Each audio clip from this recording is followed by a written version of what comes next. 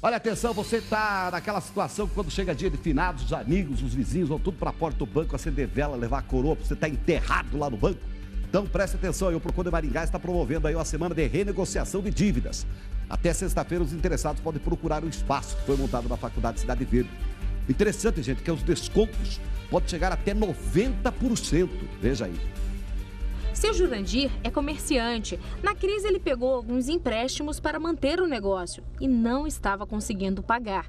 Ele aproveitou a semana de renegociação para sair daqui aliviado. Estava com umas dívidas, estou quitando todas nessa faixa aí de 90% de desconto. Chegou numa hora boa, eh, nós estamos retornando as nossas atividades, que ficou muito prejudicada com o tempo aí, e está sendo bem favorável para negociar. De acordo com a Federação do Comércio de Bens, Serviços e Turismo do Paraná, 90% das famílias têm algum tipo de dívida, a maior parte com cartão de crédito. Pensando nisso, o Procon aqui de Maringá organizou a Semana da Renegociação de Dívidas Bancárias. Até sexta-feira, cerca de mil pessoas devem passar pelas oito instituições financeiras envolvidas. As propostas são atrativas. Aqui, como nós podemos observar, tem bancos aqui que podem chegar até 90% de desconto da dívida.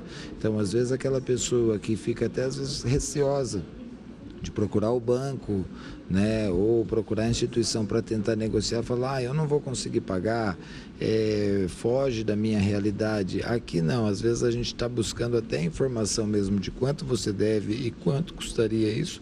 É uma maneira da gente estar tá podendo propiciar as pessoas de se reinserirem no mercado consumidor.